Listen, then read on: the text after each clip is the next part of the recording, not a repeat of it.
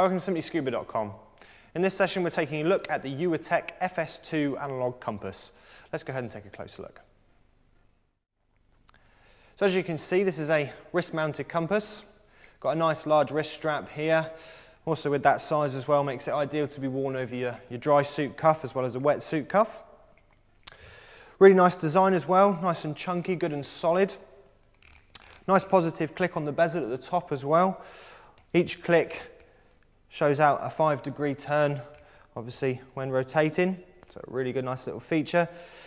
The compass itself as well, not affected by pressure. It's actually oil filled this, so it can go to any depth, making it exceptionally reliable.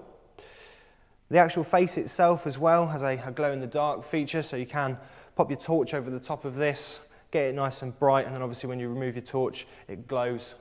So really great for night dive navigation.